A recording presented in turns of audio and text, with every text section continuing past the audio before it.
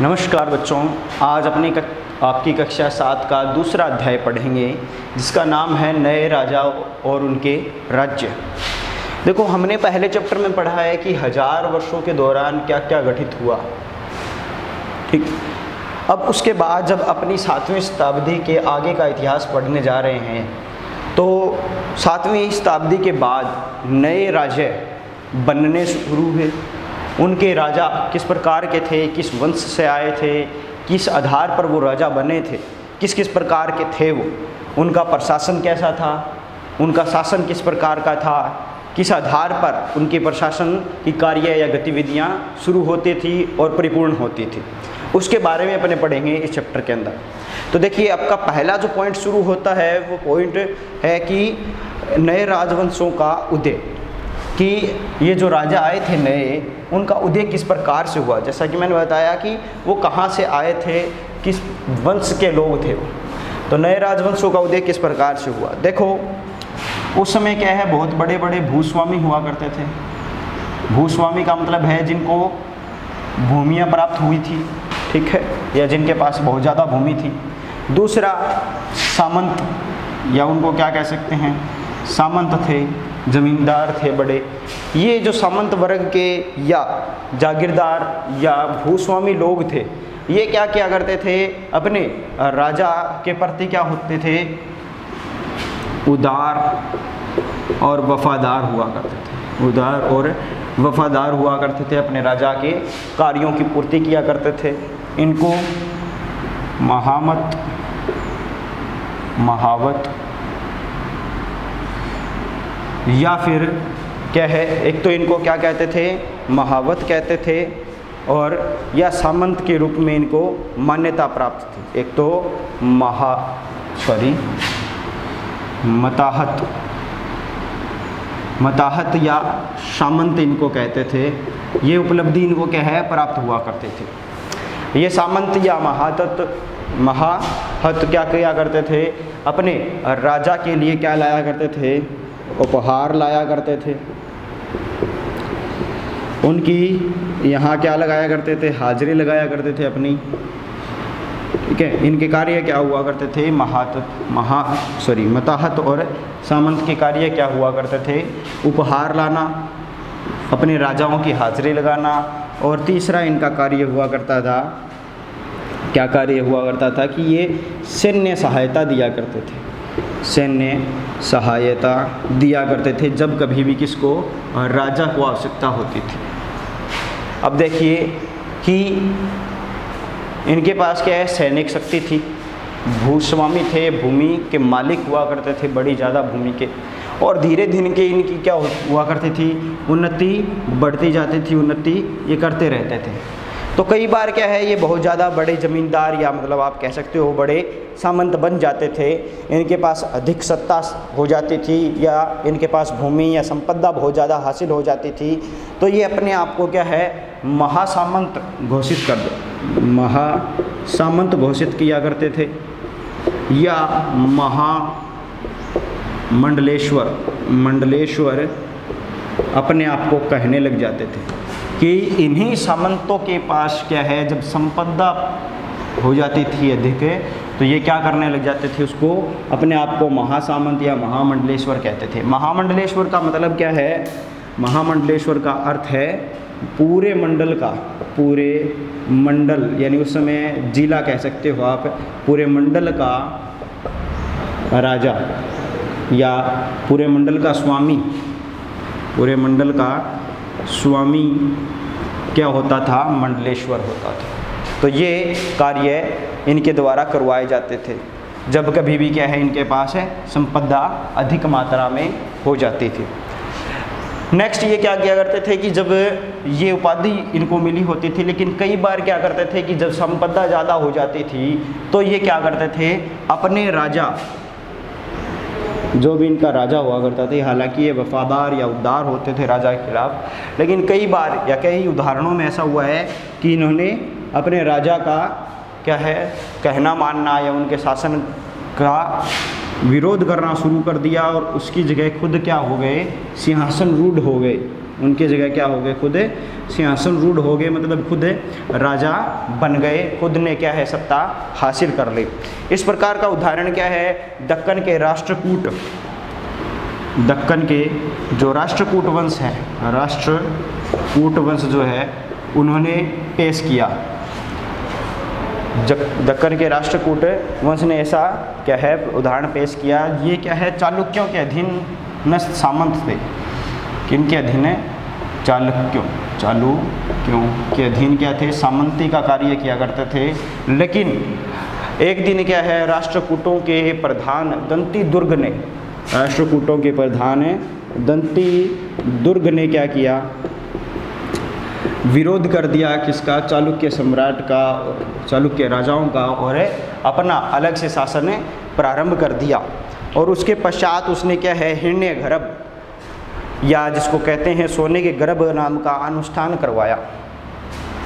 दंती दुर्ग ने उसके बाद क्या करवाया? एक हिरण्य गर्भ हिरण्य गर्भ, जिसका अर्थ होता है सोने का गर्भ। ये अनुष्ठान करवाया। अनुष्ठान का मतलब क्या हो गया? एक प्रकार से यज्ञ करवाया उसने। अनुष्ठान।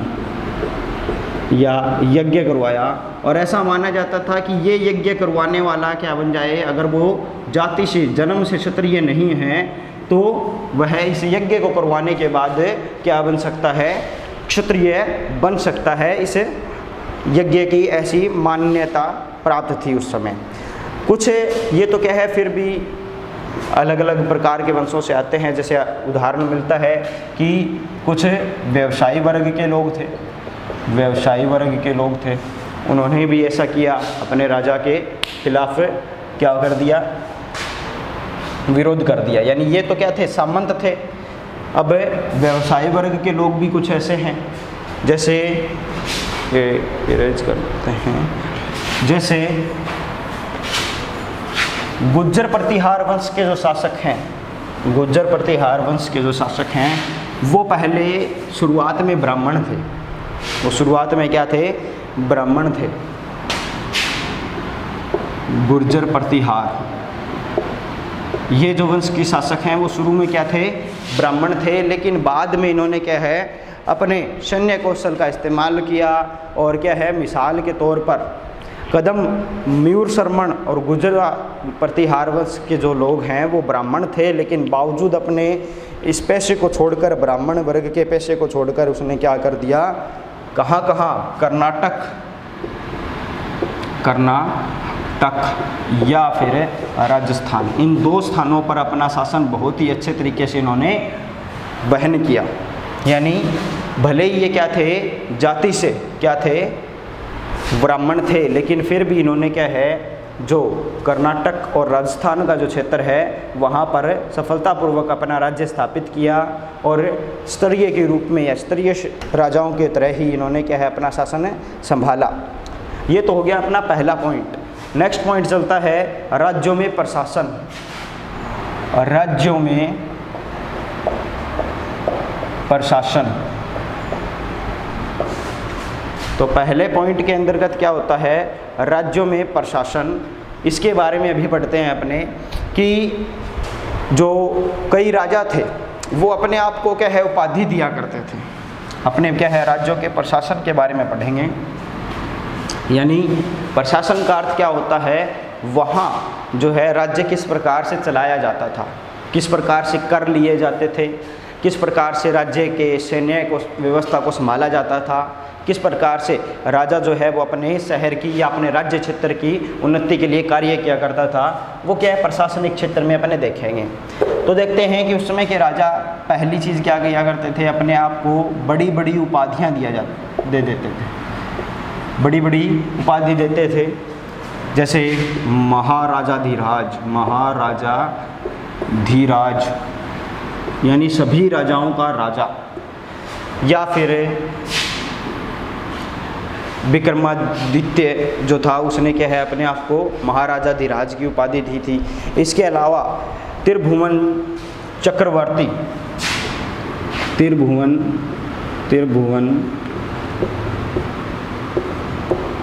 चक्रवर्तिन चक्रवर्तिन, ये क्या है, उपाधि दी थी अपने आप को। इसका मतलब है तीनों तीनों भूनों का स्वामी, तीनों भूनों का भूनों का मतलब हो गया स्वर्ग, नरक और पृथ्वी लोक। ये तीनों, यानी पताल लोक, स्वर्ग लोक और देवलोक जिसको कहते हैं, और यहाँ धरती लोक। तीनों भूनों का क्या है? वो स्वामी हो गया। इस प्रकार के क्या है? वो अपने आप को उपाधि दिया करते थे और सत्ता चलाने के लिए वो क्या किया करते थे? किसान, व्यापारी सामंत, सेना आदि जो भाग थे राज्य के, उनका क्या है, इस्तेमाल किया करते थे, उनके साथ अपनी सत्ता की साझेदारी क्या करते थे। एक महत्वपूर्ण वर्ग और रहता है ब्राह्मण। ब्राह्मण वर्ग इन सभी वर्गों के लोगों के साथ वो क्या है, अपनी सत्ता की साझेदारी क्या करते थे। इनकी सहायता से वो क्या है, अपनी सत्ता को चलाया करते थे। तो अभी देखते हैं कि ये तो क्या है, सहायक तत्व हो गए। टैक्स का क्या सिस्टम था? कर किस प्रकार से लिए जाते थे? देखो, कर जो है, वो किसान वर्ग के लोग हैं, पशुपालक है, कारीगर है। संसाधन इकट्ठा करने के लिए इनका इस्तेमाल किया करते थे? संसाधन का मतलब हो गया किसान, पशुपालक या व्यापारी, ये जो लोग हैं, इनसे क्या है संसाधन इकट्ठा करने का मतलब है? किसान से अनाज वगैरह की पूर्ति करवाना, पशुपालकों से, पशु से रिलेटेड जो चीज़ें हैं वो, या कृषि उपज, वन उपज, इनका इस्तेमाल करना, व्यापारियों से धन इकट्ठा करना, इनके द्वारा वो क्या है, ज़रूरत के छवि संसाधनों का की पूर्ति किया करते थे, जिनको एक तरह से लगान भी कहा जा सकता है। कई स्थानों पर क्या है, ये ज़बरदस्ती वसूला जाता था, और कई जगहों से क्या है ये लगान के नाम से या कर के नाम से क्या है? लिया जाता था साधारण तौर पर।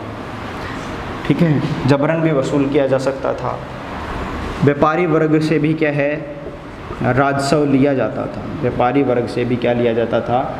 राजस्व या लगाने लिया जाता था। तो इस प्रकार से क्या है? वो प्रशासन को चलाने के लिए धन इकट्ठा किया करते थे राजा।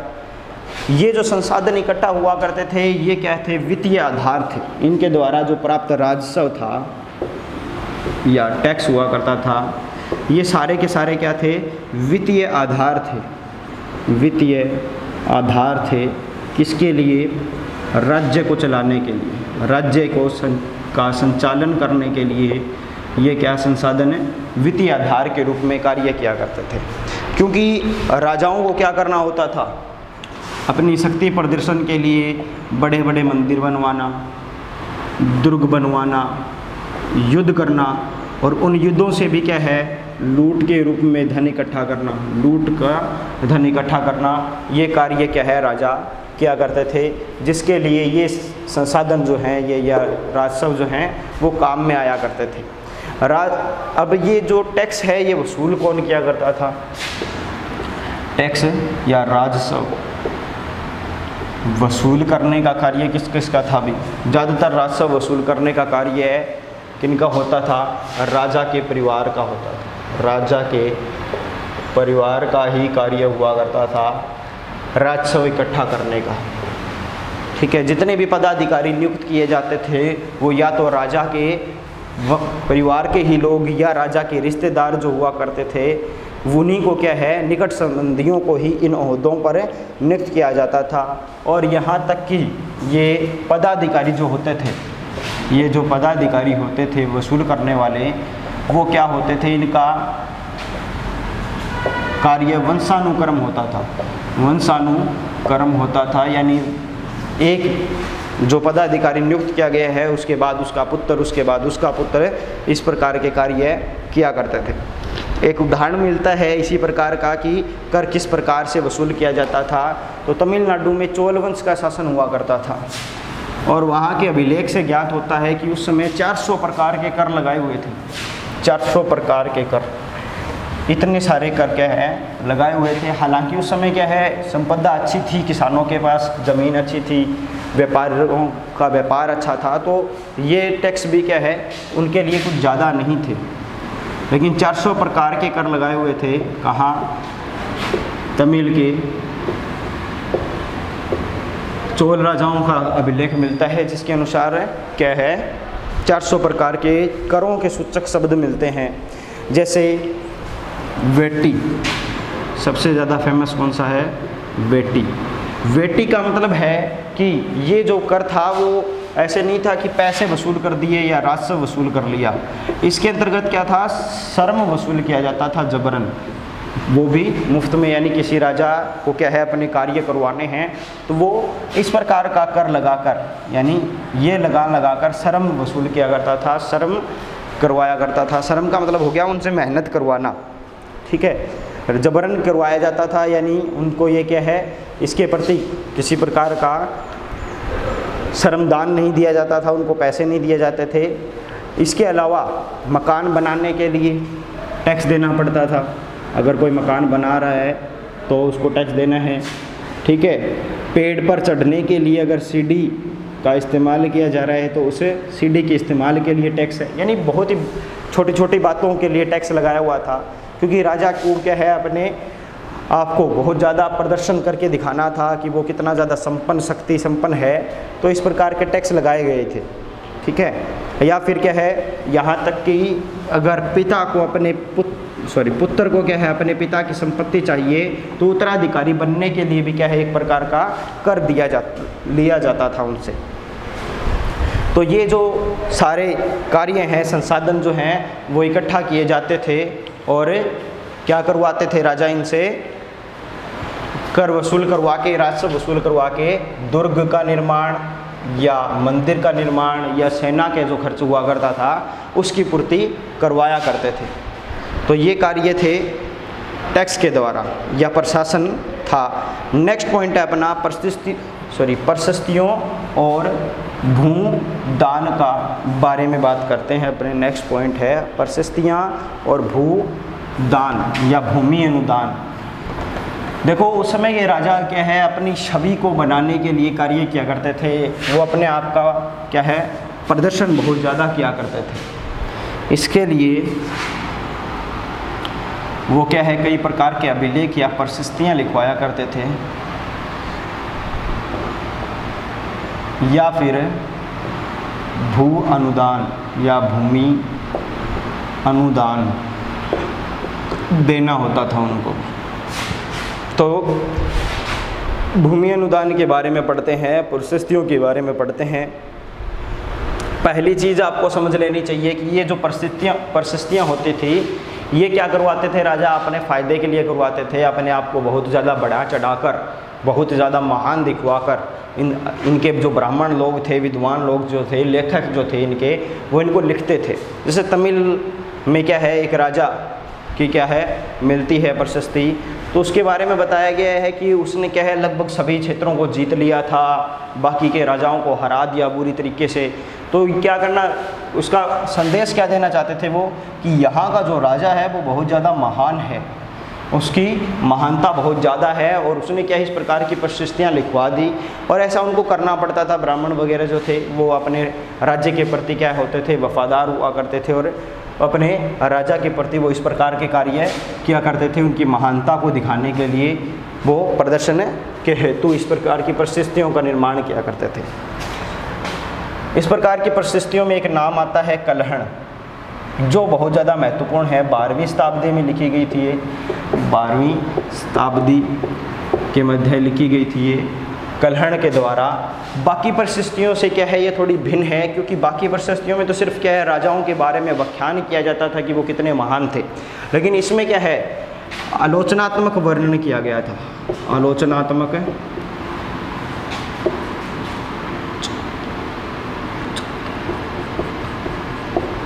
आलोचनात्मक वर्णन किया गया था कलहण के द्वारा, जो क्या है उस समय के इतिहास के बारे में बहुत ज़्यादा अच्छी जानकारी देती है। ये वर्णन जो था वो कश्मीर के राजाओं के बारे में था। कश्मीर के राजाओं के बारे में था। वहाँ के राजाओं के इतिहास के लिए यह क्या है? बहुत अच्छा स्रोत माना जाता है। कलहण के द्वारा जो रचित प्रशस्ति है। तो इस स्रोत के माध्यम से क्या है वो? उस समय के कश्मीर के राजाओं के बारे में सही या ठीक ठाक जानकारी का दिशा लगा सकते हैं पुरातत्वविद। नेक्स्ट जो अपना पॉइंट है, वो है भूमि अनुदान।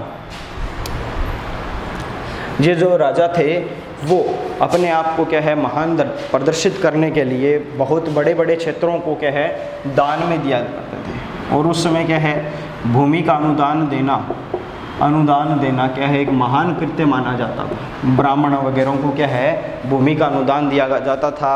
विजय योद्धा जो होते थे, वो या अपने आप को जो सूरवीर कहलाते थे, वो भूमि का अनुदान देकर इस प्रकार का कार्य करते थे। जो क्या है, प्राय ब्राह्मणों को दी जाती थी। ब्राह्मणों को दी जाती थी। और बाकायदा उसके लिए क्या लिखवाए जाते थे? तमर लेख लिखवाए जाते थे।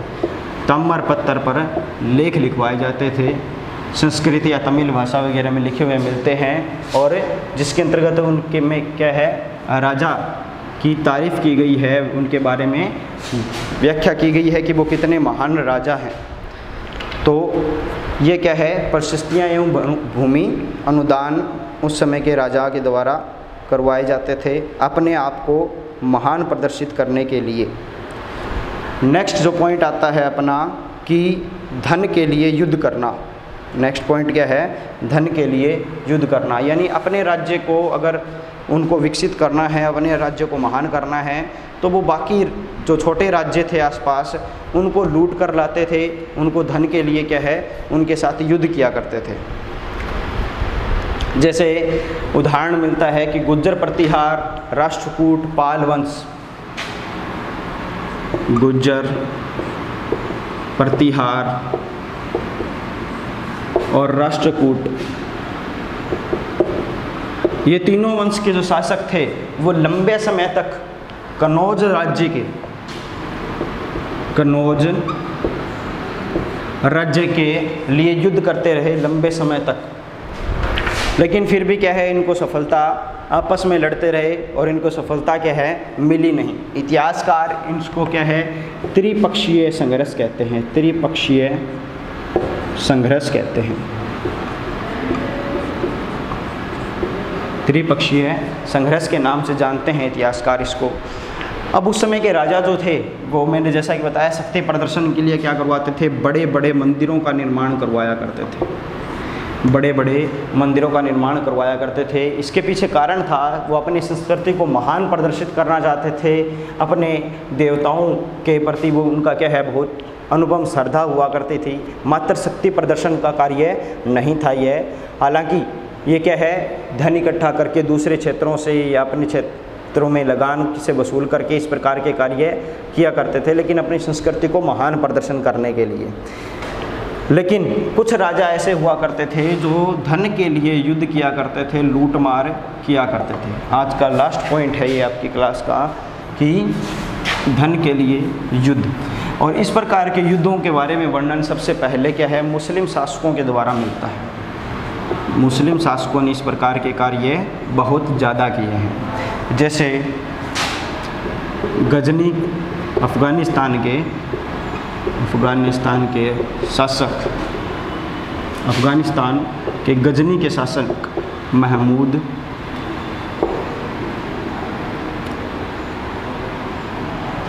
महमूद जो शासक थे, गजनी के, उन्होंने क्या है, सुल्तान महमूद जो शासक थे, वो जिन्होंने क्या है, उन्नीस सौ सतानवे से एक हज़ार तीस तक क्या है, शासन किया था।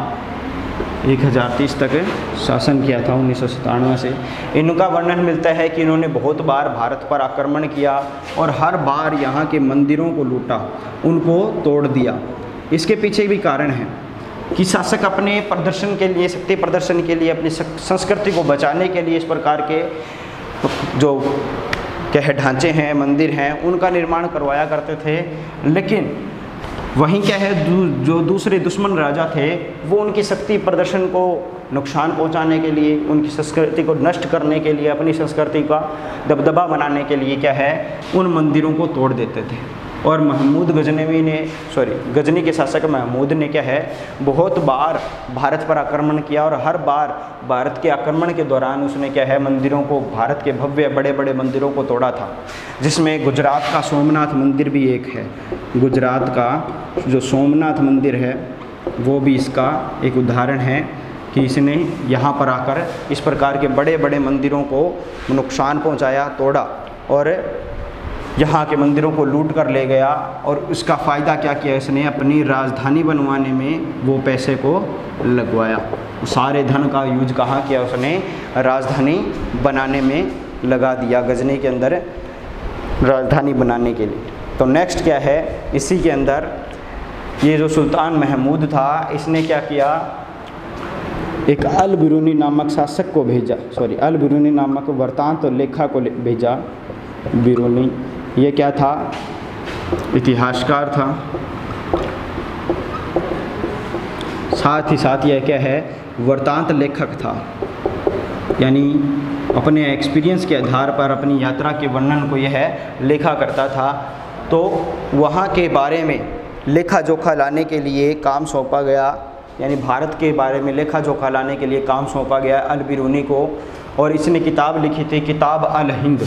किताब अल हिंद नामक पुस्तक लिखी थी इसने, और उस किताब के अंदर इसने क्या है, संपूर्ण वर्णन किया भारत के इन क्षेत्रों का। और इस किताब को लिखने में क्या है, इसने भारत के विद्वानों की सहायता ली। भारत के जो संस्कृत में लिखने वाले विद्वान थे विद्वान थे, उनकी सहायता इस उन्होंने ली, क्योंकि इसको इतना अच्छे से लिखना नहीं आता था। उसको उसने यहाँ पहले आकर क्या है, परामर्श किया, लिखना सीखा, उसके बाद यहाँ के लेखकों को लिखा और उस समय के इतिहास को जानने के लिए इसकी जो किताब है, अल, किताब अल हिंद, उसको, वो क्या है, बहुत ही एक अच्छा क्या है, सोर्स है, स्रोत है। इसके अलावा चाह मानवंश के शासक जो थे, वो बहुत ज़्यादा महान थे। उनके बारे में वर्णन मिलता है कि इन जो विदेशी आक्रमणकारी राजा थे, जैसे ये महमूद, सुल्तान महमूद था, इनके साथ टक्कर लेने वाले जो राजा थे, वो चाहमन राजा थे। इनके साथ टक्कर लेने वाले राजा कौन थे? चाहमान राजा, जिनको बाद में चौहान वंश के नाम से जाना जाता है। चौहान वंश के नाम से जाना जाता है। इन्होंने विदेशी आक्रमणकारियों को रोकने का प्रयास किया और अपना क्षेत्र क्या है? दिल्ली और अजमेर के पास, आसपास क्या है? अपना शासनीय क्षेत्र स्थापित किया। इसके बारे में इस वंश के सबसे महत्वपूर्ण राजा पृथ्वीराज तृतीय पृथ्वीराज तृतीय का वर्णन मिलता है, जिसने मोहम्मद गौरी को, मोहम्मद गौरी को क्या है? उन्नीस सॉरी ग्यारह सौ इक्यानवे के अंदर हराया था युद्ध में और क्या है, बाद में ग्यारह में उसको इस पृथ्वीराज चौहान को धोखे से हरा दिया गया, जो महमूद गोरी शासक था। मोहम्मद नहीं है सॉरी महमूद गोरी जो शासक था, वो उसको ग्यारह में हराने का कार्य किया। इसने एक महान शासक था, अरब का महमूद गोरी।